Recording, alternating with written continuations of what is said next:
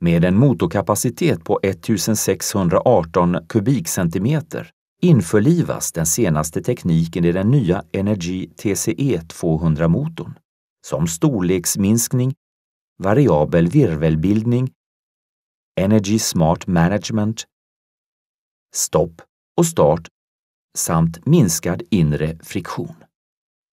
Driftkostnaden för M5MT-motorn är låg, med låg bränsleförbrukning, låga koldioxidutsläpp och sänkta underhållskostnader tack vare kamkedjan.